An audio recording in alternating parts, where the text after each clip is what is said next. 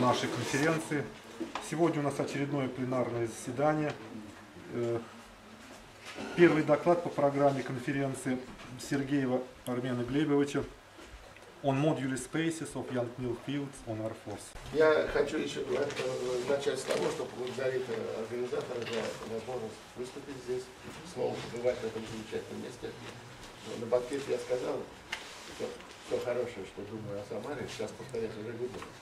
Э, Я хотел бы рассказать сегодня об одной э, проблеме, которая э, некоторое время назад привлекала повышенное внимание, но, к сожалению, так и осталась нерешенной. Здесь речь идет о понимании, об описании структуры полей Янга Милса, о понимании структуры этих объектов. Я не предполагаю, конечно, что все присутствующие знают, что это такое, поэтому я начну с определения, что это за объект такой и как с ним, как с ним жить. Итак, сначала я введу э, поля Янга Милса. Э, пусть G это компактная группа Ли или в физической терминологии калибровочная группа.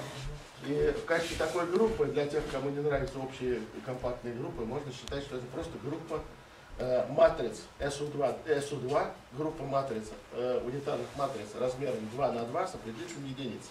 Этого вполне достаточно для... На самом деле это очень близко уже к общему случаю. Итак, я предполагаю, что G это компактная группа Ли, ну, например, группа матриц, как я сказал. А, а это связанность, или как э, на физическом языке это калибровочный потенциал э, на R4. Э, можно, опять же, для тех, кому не нравится слово связанность, можно считать, что это просто один форма с матричными коэффициентами. Ну, э, общее определение, что это один форма со значениями в алгебре Ли G этой группы G. Значит, для тех, кому не нравится, можно считать, что это просто матри, э, дифференциальная форма, один форма, коэффициентами, которые являются э, матричные функции. Кривизна этой связанности, или физической терминологии калибровочное поле F, сдается уже два формы на этом R4 со значениями, э, со значениями э, ну, вот, в алгебре Ли или просто с матричными значениями, если хотите. Нет, калибровочным полем приняли саму связанность называют. Что, что, что? Калибровочным полем научно саму связанность называют. Ну, я привык, что это калибровочный потенциал все-таки связанность называется. Ну ладно, не будем спорить. В любом случае, да. да. Э, Во всяком случае, такое я встречал, но не- сейчас я не держусь за это наименование, я все-таки буду пользоваться в основном математической терминологией. Э, Она э, выражается вот такой вот формулой, где если А это матричная, где D это то, что называется ковариантная внешняя производная, порожденная этой связанностью. Ну а если в том случае, когда э, А это форма с матричными значениями, это обычный дифференциал формы, а это коммутатор коэффициентов в обычном смысле, э, в матричном смысле. Э, Тогда вот главный наш объект, это э, э, действие Янга Милса, создается такой формулой интеграла от нормы f в квадрате по всему пространству, которые стремятся к единице на бесконечности. Ну, в том случае, когда это матричный, то это просто матричные, матричные функции, функции, э, матричные функции на F4. Э, Под действием вот этих калибровочных преобразований, э, калибровочные потенциалы и связанности, или вот связанности и кривизны, преобразуются следующим образом. Вот потенциал преобразуется таким образом, а кривизна преобразуется таким образом. Где G, группа G, здесь вот действие группы G на дифференциалы, на то, что со значением в алгебре, это э, действие, как всегда, э, задается по определенным представлениям. Или в том случае, когда это матричные функции, это просто обычные матричные операции, обычные матричные умножения. Э, Поскольку сам, сам э, действие не, не изменяется, и потом, как мы увидим, соответствующее этому действию уравнение тоже не изменяется под действием этих преобразований, нас будет интересовать не столько все возможные, все возможные вот решения соответствующих уравнений Эйлера, а сколько фактор э, вот этих вот э, решений по э, вот таким преобразованиям. Ну и вот основное определение.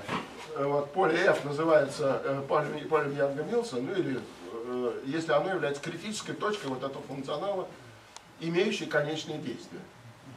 Соответствующий потенциал я вот называю связанностью Янга Милса, ну или как можно. Тут есть разные, разные названия. Э, Конечно, нетрудно написать уравнение Лагранжа для этого функционала. Они имеют такой вид, где звездочка f равно нулю, где d звездочка это оператор формально сопряженный к тому оператору d, который я только что вводил. Э, Вот он был здесь, этот оператор. Значит, этот оператор действовал из один формы в два формы, а формально сопряженный к нему действует из э, два форм в один форм. Э, в этом случае, в четырехмерном, его можно записать в более простом виде, это оператор звездочка. Это оператор D со звездочкой можно записать как звездочка, D звездочка. Где звездочка это оператор Ходжа на R4. Это оператор, который сопоставляет форме, форму, дополняющую ее до формы объема. Это стандартный оператор Ходжа.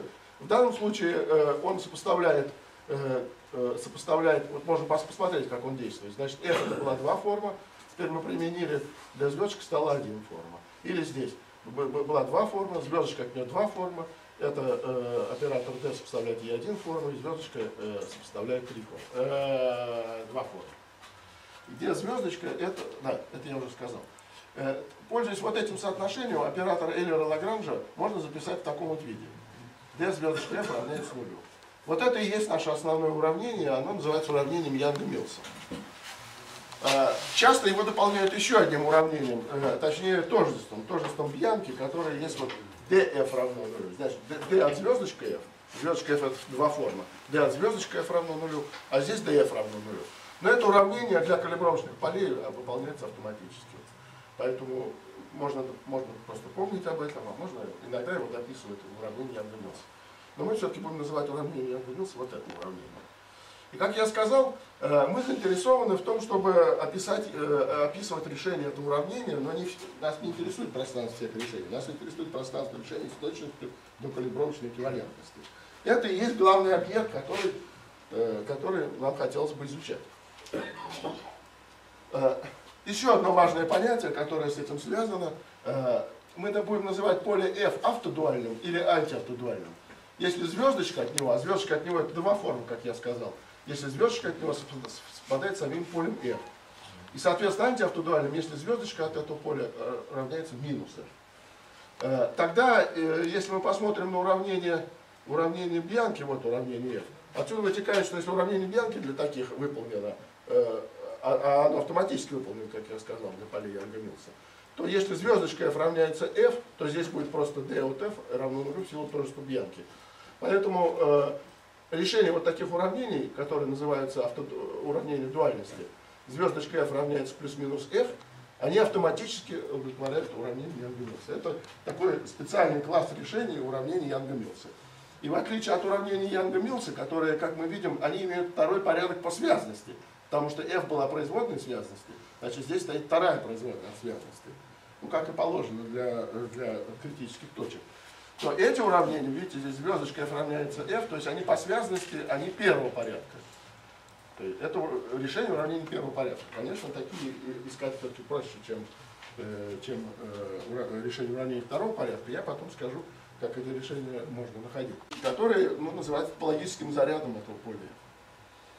На самом деле он, оно имеет, а, этот, этот топологический заряд имеет прозрачный топологический смысл, а именно, э, пользуясь теоремой Уленбека компактности, любую связанность с конечным действием Янга Милса можно обязательно продолжить до связанности в некотором э, векторном расслоении на S4. И тогда этот инвариант будет выражаться в терминах характера Черна, этого продолженного расслоения, уже многообразии. Ну, В частности, если вот G, наша группа, как я сказал, вот SU2, то это просто будет второй класс Черна, написан здесь. Поэтому этот инвариант э, топологический и, естественно, э, рассматривать теперь, описывать решение с фиксированным топологическим зарядом. Это, с этого стоит начать. Так вот, если мы сейчас ограничимся действительно, э, будем рассматривать в фиксированном топологическом классе, то там, тогда мы увидим, сравнивая вот эту формулу, вот эту формулу и предыдущую формулу, ведь они отличаются только плюсом и минусом. Поэтому отсюда сразу вытекает, что действие всегда больше, чем топологический инвариант с точки до какого-то ка- константа. Точнее, модуль этого топологического инварианта.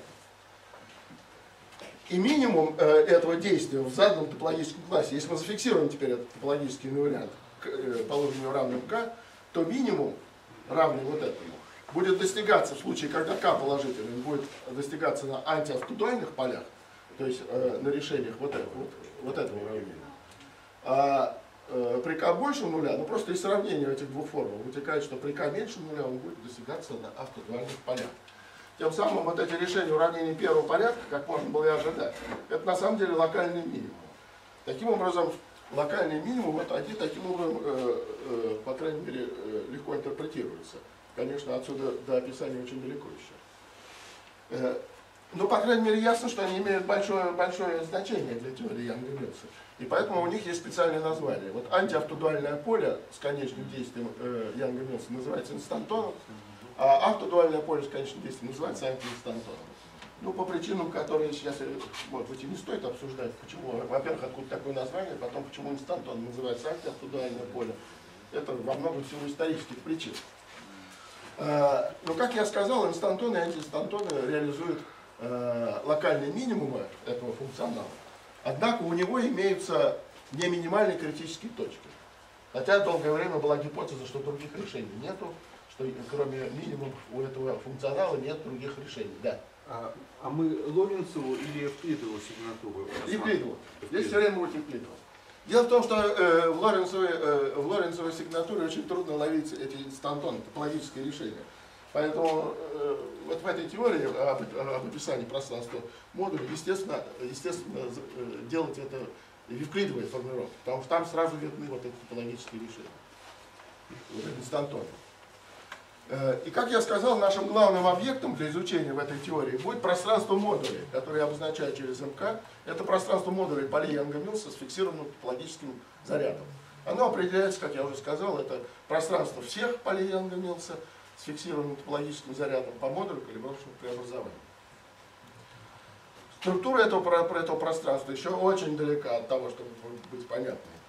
Однако аналогичная проблема для инстантонов, то есть описание пространства модуля инстантонов на R4, уже решена, и уже несколько лет назад она была решена э, в известной работе Ати, Дринфельда, Хитчина и Манина, э, в которой они опирались на так, так называемый твистерный подход.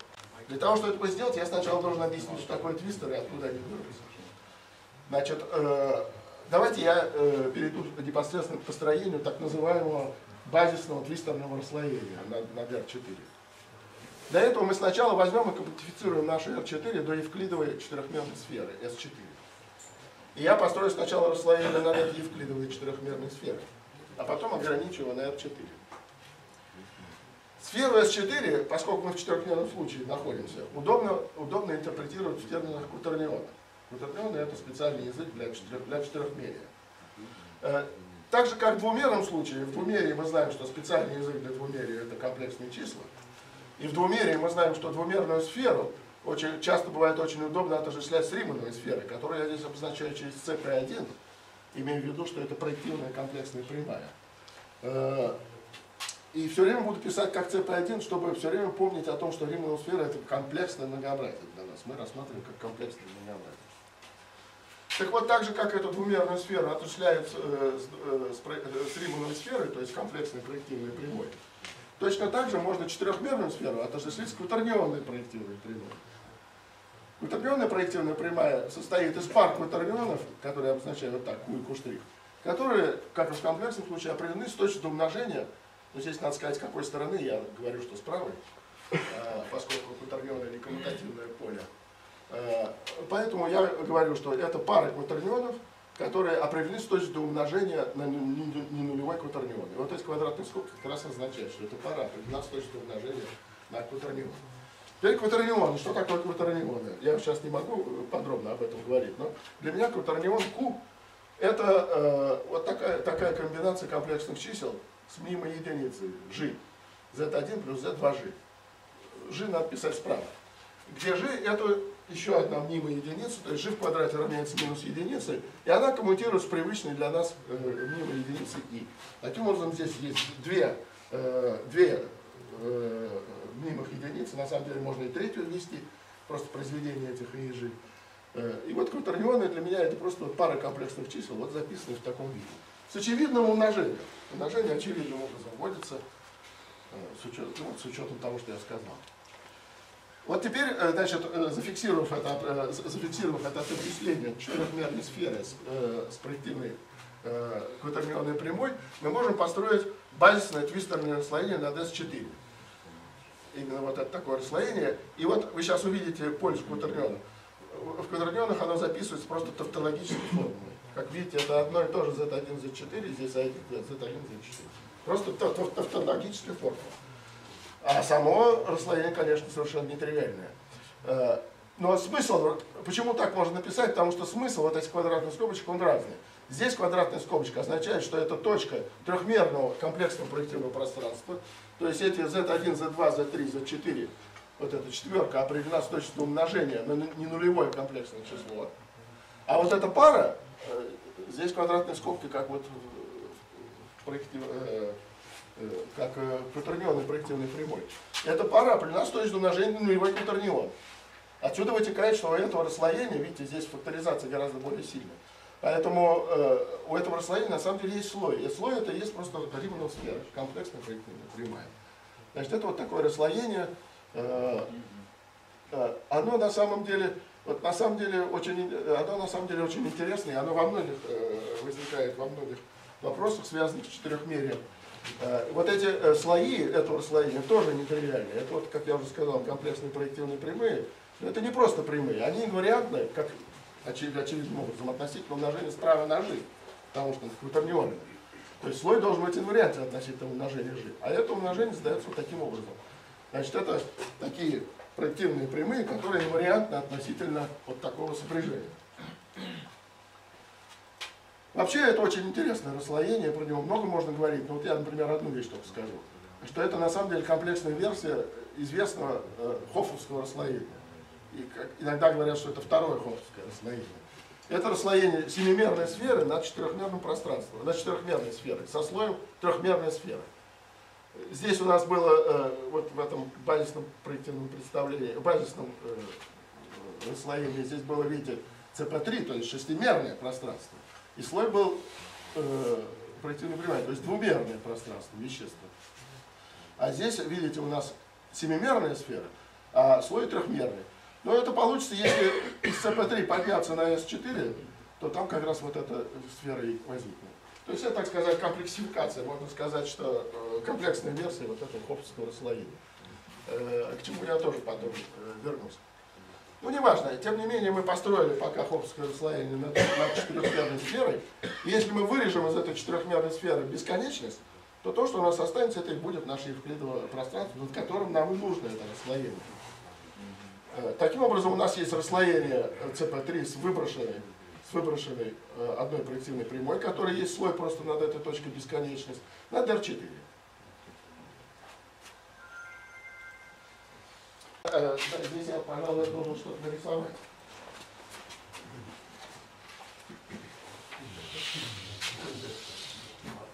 Э, Итак, у нас есть, у нас есть вот это наше пространство, есть R4.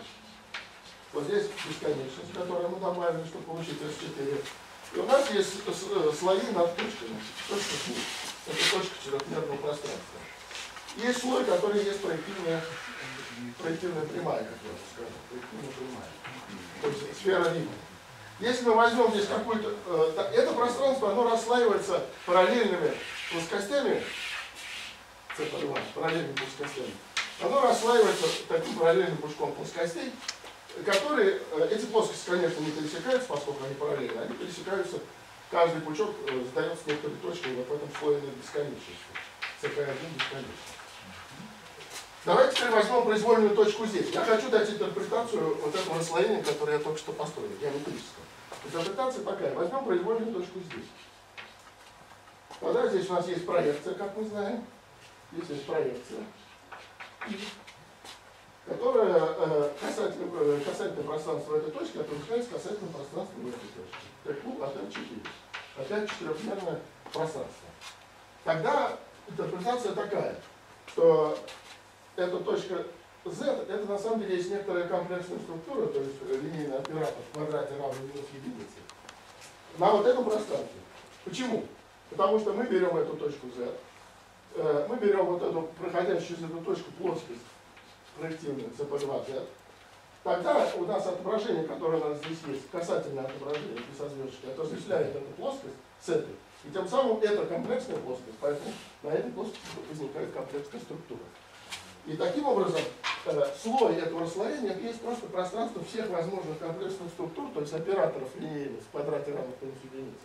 на вот этом четырехмерном пространстве. Вот это и есть э, известная уже теперь интерпретация, которую, э, которая принадлежит Татье.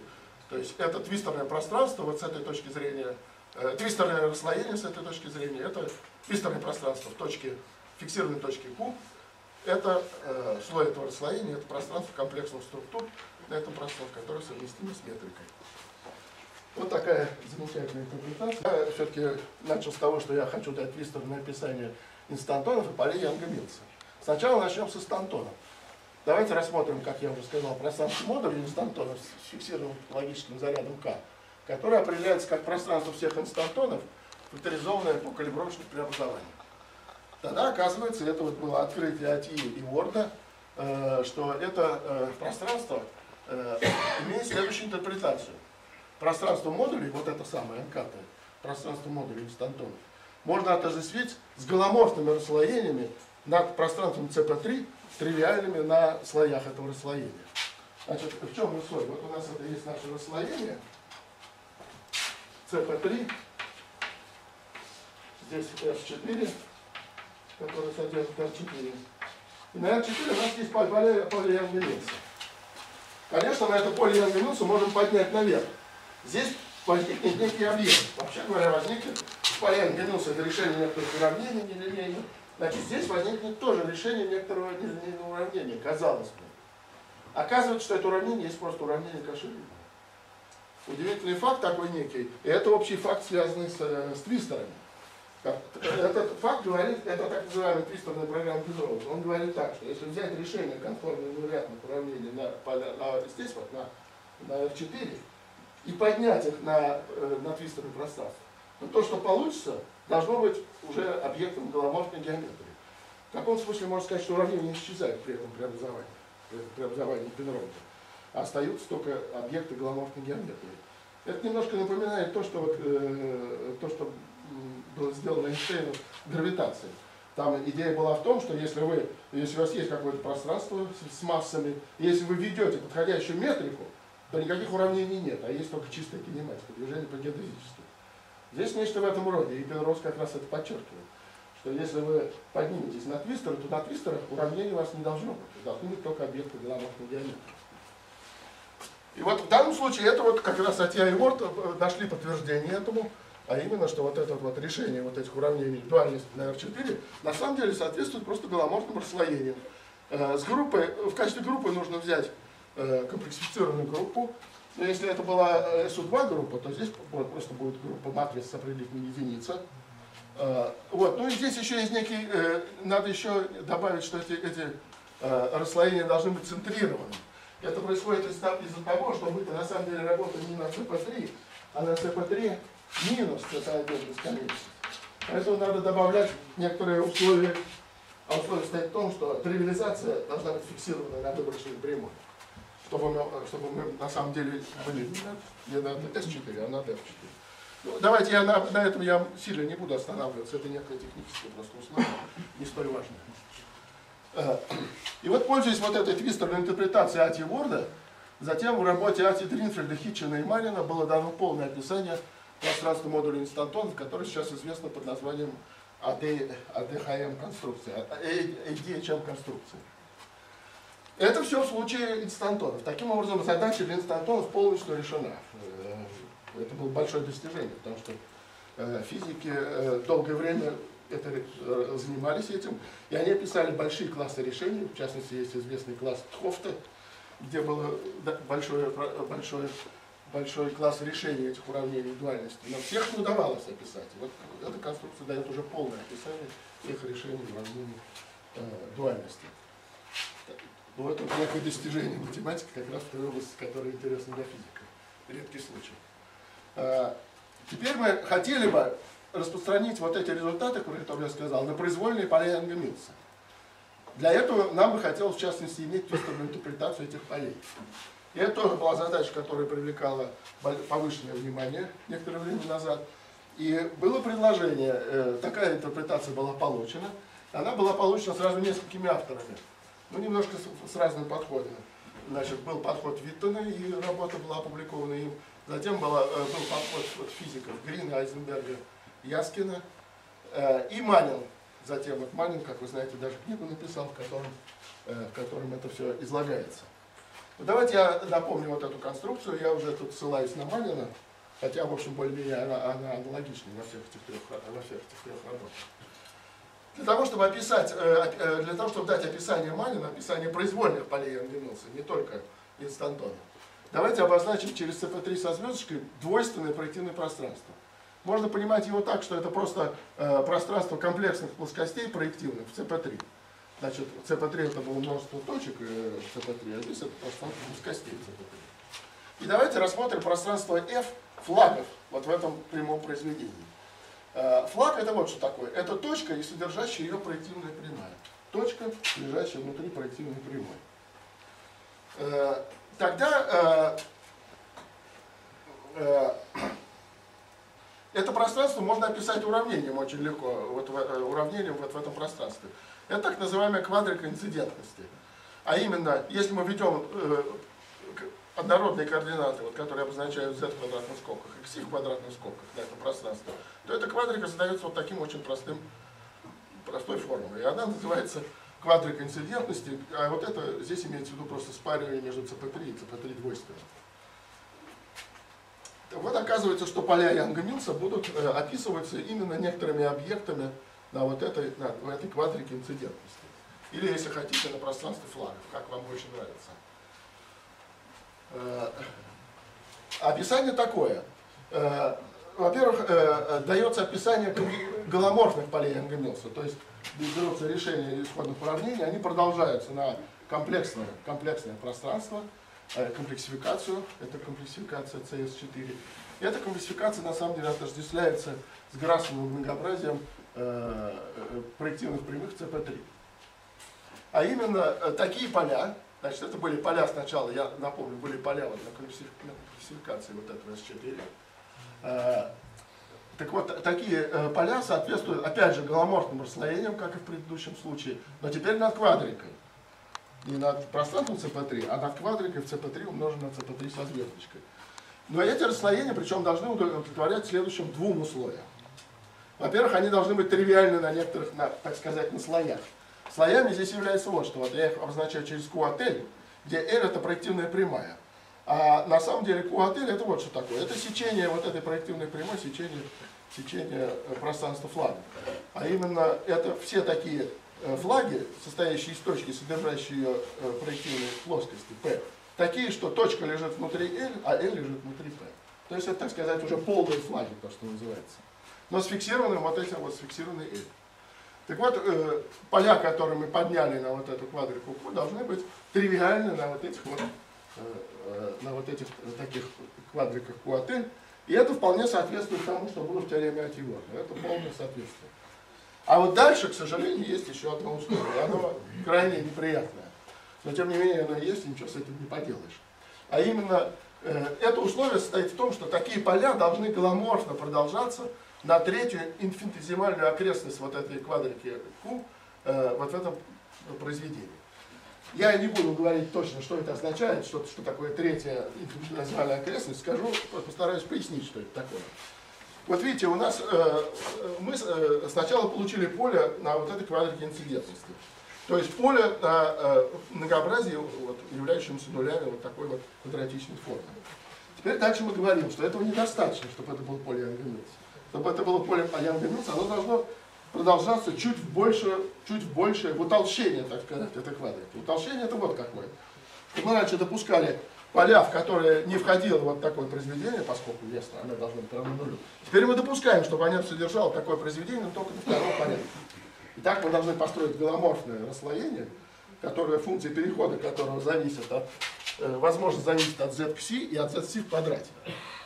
Это, это есть необходимые достаточные условия, чтобы то, что мы получили, отвечало полю Янга-Милса. Так вы видите, описание не очень приятное, прямо скажем, и оно совершенно неконструктивное, и из него понять структуру поля Янга-Милса очень трудно. Э, Вот. А я хочу сейчас дать еще одно описание, которым мы собираемся как раз пользоваться. Есть другое описание пространства модулей инстантонов, отличное от вот этой АДХМ конструкции, которое э, было предложено Атьё и Дональдсоном. И которое можно рассматривать как двумерную редукцию вот теоремы Атиборда, которую я сформулировал. Теорема о том, что мы можем поднимать на CP3. А именно, э, согласно этой теореме Ати Дональдсона, это пространство модулей дистантонов, которые нас интересуют, э, э, можно отождествить с пространством с классом эквивалентности голоморфных расслоений не на CP3, а только на CP1 умножить на CP1, которое тривиально на некоторых, там оно было тривиально на всех слоях, а здесь вот тривиально только на двух прямых проективах.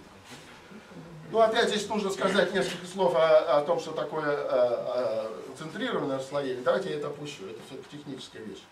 А вот то, что стоит здесь, это объединение двух проективных прямых на бесконечность. Вот они написаны, две проективные прямые на бесконечность. Значит, раньше у нас было проективное, проективное, э, раньше у нас было расслоение на CP3, которое тривиально на всех слоях. Теперь у нас расслоение на двумерном пространстве. CP1 умножить на CP1, произведение двух сфер. Но оно должно быть тривиально всего лишь на двух, на вот этом координатном кресте.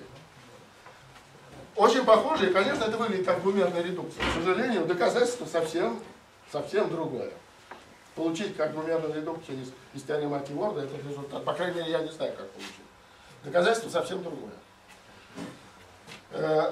Вот Атья предложил интерпретацию правой части, вот эти голоморфные расслоения на, CP, на CP1 умножить на CP1, э, в терминах голоморфных сфер, и вот это самое для нас интересно, голоморфных сфер в пространстве Питер. Теперь я должен, к сожалению, я должен еще один ввести объект, это именно пространство Питер. Я надеюсь, что, может быть, кто-то знает, но для тех, кто не знает, я напомню. Итак, у нас есть наша группа Г, которую я говорил, можно считать, что просто это группа СУ2. И пространство петель этой группы компактной, это вот что такое. Надо взять группу петель и профакторизовать по самой группе Г. Группа петель это отображение из фиксированной окружности в группу э, с операцией послойного э, поточного умножения. А G в знаменателе, э, G в знаменателе отождествляется с пространством э, постоянных просто отображений. Оказывается, что это пространство, вот на самом деле, если вы посмотрите на его определение, здесь ничего комплексного нет в этом определении. Удивительным образом это комплексное многообразие, причем одно из самых интересных бесконечных многообразий. А именно э, благодаря следующей теореме. Теорема, не знаю, кому она принадлежит, наверное, это теорема Бергофа. Но, по крайней мере, я не, не знаю точно, кто является ее автором.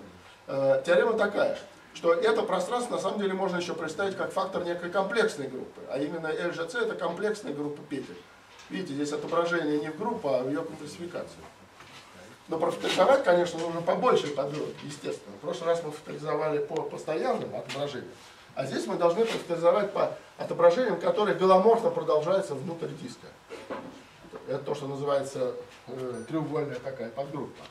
И на самом деле, вот то, что здесь написано, это такая параметрическая аналог э, э, представления матрицы в виде произведения, э, в виде произведения унитарной или треугольной. Ну, так это не сразу видно, но придется вам мне поверить. Так вот, Атья значит, пред, пред, пред, э, предложил следующую интерпретацию правой части, что вот эти голоморфные расслоения над произведением Римановых сфер, на самом деле это голоморфные сферы, то есть голоморфное отображение Римановой сферы в пространстве омега G. Как я сказал, омега G это комплексное многообразие, поскольку это фактор комплексной группы по комплексной подгруппе. На нем есть комплексная структура. Э, здесь опять, видите, встречается центрированное, но здесь очень легко объяснить. Центрированное это означает, что точка бесконечности, северный полюс, отображается э, вот в тот класс постоянных отображений, которые играют роль начала. Итак, из теоремы Антидональдсона теперь вытекает совершенно простое утверждение, которое, я думаю, всем понятно, кто, э, и его очень легко понять. Э, это пространство модулей, которое нас интересует, на самом деле есть пространство голоморфных отображений сферы, пространство Питер группы. Физики, надо отдать э, им должное, они давно подозревали, что что-то такое, что-то в этом роде должно быть. Что должна, должно быть соответствие, что поля Энгемилса это нечто вроде как, ну, как физики говорят, киральные поля. Это, так сказать, киральные поля, но бесконечно мерные, ведь это бесконечно мерное многообразие. Так что физики подозревали, что что-то такое должно быть. Но вот насколько я знаю, я не знаю, Атья знал об, об этих э, подозрениях физиков или нет, но во всяком случае вот он доказал. Я думаю, что знал. Теперь, э, значит, теперь интерпретация. Теперь я хочу дать интерпретацию все-таки полей. Видите, здесь это, э, вот эта интерпретация относится только к константону. И для, и для полей Ангамилса подобной интерпретации нет. Вот как раз моя цель такую же, доказать такую же интерпретацию для полных полей Ангамилса. Для этого я должен э, напомнить вам, что такое, что такое энергия и что такое гармонические сферы. Давайте назовем энергией просто гладкого отображения из Рибмановой сферы э, вот в это пространство ОМГ, э, как обычно, назовем просто интеграл Дирихле. Как энергия всегда интеграл Дирихле. Значит, это интеграл от э, интеграла дифференциала, вот этого, точнее, от квадрата дифференциала. А здесь стоит э, метрика на CP1, обычная конформная метрика на CP1, поскольку это Риманова сфера, вот эта метрика на Римановой сфере здесь стоит. А норма, вот эта норма дифференциала, только нужно сказать, как она вычисляется, она вычисляется в Римановой метрике на омега g. Я сказал, что вот это омега g это комплексное многообразие. На самом деле оно, я еще коротко сказал, что это келлерово. Это означает, что на нем есть не только комплексная структура, но и совместимость с Римановой метрикой. Вот эту Риманову метрику и нужно здесь взять. И тогда будет, э, вот, будет такое вот определение энергии. Ну и как всегда, критические точки функциональной энергии всегда называются гармоническими отображениями, в данном случае просто гармоническими сферами вот в этом пространстве МГЖ. Кроме того, э, можно показать, вот эти, что эти голоморфные сферы, как я раньше, э, которые появляются в теореме АТИ, ну и точно так же антиголоморфные сферы, это как раз локальный минимум вот этого функционала энергии. Значит, критические точки это функционал, это гармонические сферы, а локальный минимум это голоморфное и антиголоморфное отображение. Это общий факт, относящийся к любым келлеру многообразиям, не важно. Э, так вот, принимая это во внимание, мы видим, что теорема Ати, Дональдсона, а теорема Ати Дональдсона я сейчас напомню, вот, вот она, теорема Ати Дональдсона, о том, что пространство модулей это голоморфные сферы. Так вот, э, теперь можно про теорему Ати Дональдсона переформулировать следующим образом, что на самом деле она устанавливает, вот эта теорема, э, э, соответствие между локальным минимумом двух функционалов. Один функционал это поля Янга э, это действие Янга Милса на калибровочных полях. И локальный минимум этого действия, как я сказал, это инстантоны и антиинстантоны. А с другой стороны, это функционал энергии гладких сфер на омега-G.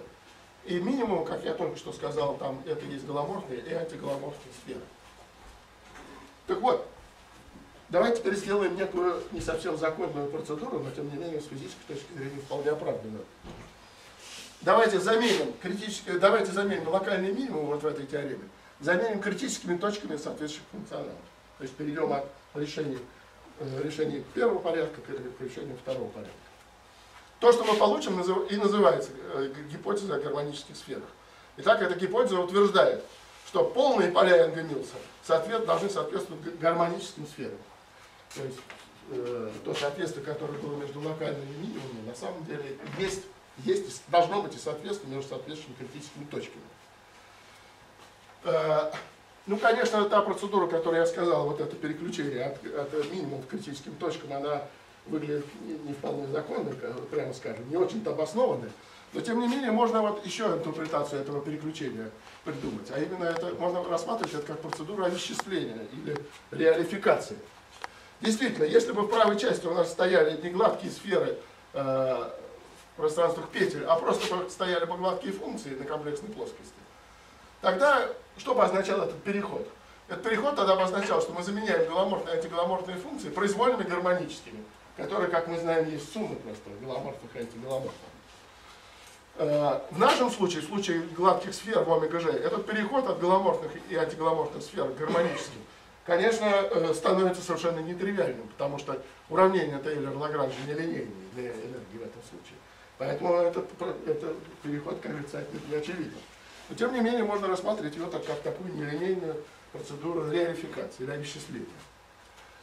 Ну вот кроме приведенных эвристических соображений и теоремы Ати Дональдсона самой, есть еще одно свидетельство в пользу того, что эта гипотеза должна быть верна.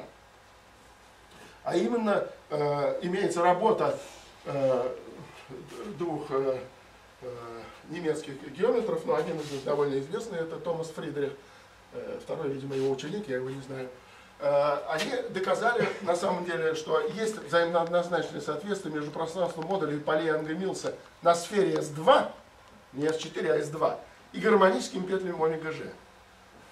Сейчас я, э, сейчас я скажу, что значит гармонические петли в омега-G. У нас там были гармонические сферы омега-G, а здесь гармонические петли. Любое вещество, утверждение, любая вещественная теорема, о конформной инвариантной парадигме, должна превратиться в голоморфную. Таким образом, мы можем свести все, попытаться свести все к голоморфному случаю. Вот это и есть главная идея, собственно говоря, доказательства, почему я снова вернулся к этой, к этой гипотезе, потому что возникла новая идея. Значит, надо все поднять на твистерное расслоение, и там утверждение станет чисто голоморфным.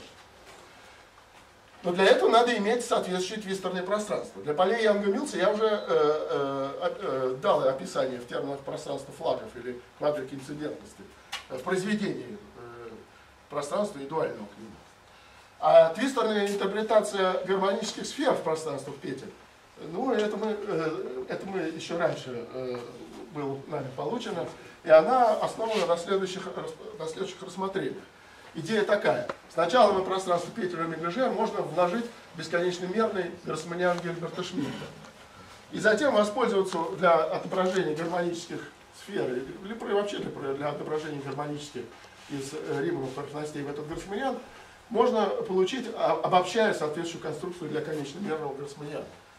В конечномерном случае гармонические сферы в Гроссманиане описываются так. Это проекции голоморфных, опять же пользуясь вот этим твистерным, опять пользуясь твистерным языком.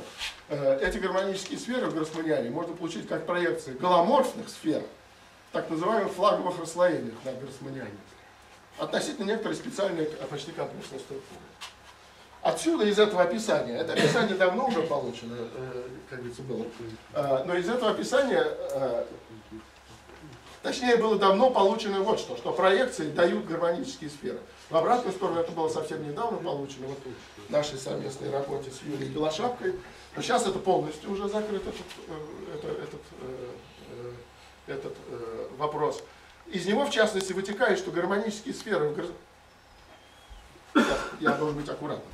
В конечном мерном случае из вот этого описания вытекает, что гармонические сферы в Гроссманиане можно, можно получить с помощью Э, процедура, процедура типа Бэкленда.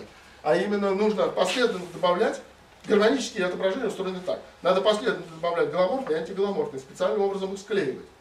И тогда вот эти лесенки такие, или цепи их называют, из голоморфных и антиголоморфных отображений, дадут произвольные гармонические отображения. То есть с этой точки зрения гармонические отображения устроены очень просто. Э, их можно выстроить из голоморфных и антиголоморфных. Это очень напоминает то, что произвольная, э, произвольная гармоническая функция есть сумма э, гламурная и антигламурная.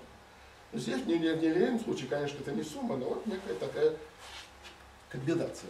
Нам пришлось преодолевать, что вот эти флаговые расслоения, флаги, они же основаны все-таки на размерности, там размерность фигурирует. А в бесконечном случае, конечно, никакой размерности нету. Тем не менее, оказывается, что в этих конструкциях не размерность играет роль, а только относительная размерность разных многообразий. То есть размерность фактора. А факторы по-прежнему можно сделать конечным мерным. В общем, есть такое понятие виртуальной размерности, и тем самым возникает понятие виртуальных э, расслоений флагов. И в остальном вся конструкция конечномерной или бесконечномерной гроссманиан тоже продолжается. Квадре. И есть описание гармонических сфер в терминах вот таких э, голоморфных сфер флаговых расслоениях. Таким образом, э, если доказать, он пока не доказан, твистерный аналог гармонической, э, гипотезы о гармонических сферах. Но этот аналог уже ясно, как он должен выглядеть. Он должен устанавливать взаимоозначное соответствие между голоморфными расслоениями на CP3 умноженное на CP3 со звездочкой, которые тривиальны на всех этих квадриках, и голоморфными сферами виртуальных флаговых расслоений. Почему не удается пока показать, что это одно и то же? Э, проблема в том, что они на разных языках. Вот описание Малина, которое я давал, ну и Малина, Виттона, Эйзенберга, Грина, Яскина надо было бы, наверное, писать. Э, оно использует дуальное пространство. Не только само, само твистное пространство, но и дуальное к нему. В то же время наше описание, оно, здесь никакого дуального, э, дуального пространства нет. Здесь только одно пространство фигурирует. Здесь нет дуального пространства каши. И вот э, из-за того, что эти описания даны на разных языках, пока нам не удается установить между ними соответствие. Если мы установим соответствие и докажем, что оно к тому же взаимно однозначно, тем самым будет доказана твистерная гипотеза о гармонических сферах, ну и тем самым сама гипотеза о гармонических сферах. В общем, есть некие надежды, что, может быть, это и удастся сделать. Но для этого нужно вот такой вот, э, придумать такой вот словарь, который переводит один язык в другой. Ну, теперь э, спрашивается, а э, почему мы так боремся за эту э, гипотезу о гармонических сферах? Вот мы боремся из-за того, что мы хотим получить все-таки описание, понять структуру полей Янга Милса. Как я уже сказал, была первоначальная гипотеза, что таких полей, кроме инстантонов и антиинстантонов, вообще не существует. Гипотеза была в свое время выдвинута Атьёль, что у этого, э, э, что у этого э, уравнения Янга Милса нет других решений, кроме локальных минимумов. Конечно, она была очень быстро опровергнута. э, э, Когда понастроили всяких примеров неавтодуальных полей Милса. Но тем не менее, сколько их таких вот неавто- неавтоду- неавтодуальных полей Милса, пока никто не знает. Вот если удастся, если удастся доказать эту гипотезу, на что я очень, конечно, рассчитываю, то из нее на самом деле будет вытекать, что существует процедура типа Бэклунда, которая позволяет выстраивать произвольные поля Милса вот таким последовательным прибавлением инстантонов и инстантонов. Инстантоны это похоже на то, что есть для гармонических сфер. Это, на самом деле процедура будет, если нам удастся доказать эту гипотезу, то процедура сразу переносится на случай полей Янга Милса. И это, в частности, будет означать, что таких полей Янга Милса намного больше, чем по сравнению с инстантоном и антиинстантоном. А это как раз вот тот факт, который до сих пор пока непонятен. Насколько, сколько их. Вот если эта гипотеза верна, если она будет доказана, то будет видно, что их на самом деле очень много с одной стороны. А с другой стороны, они действительно все выстраиваются из инстантонов и антиинстантонов.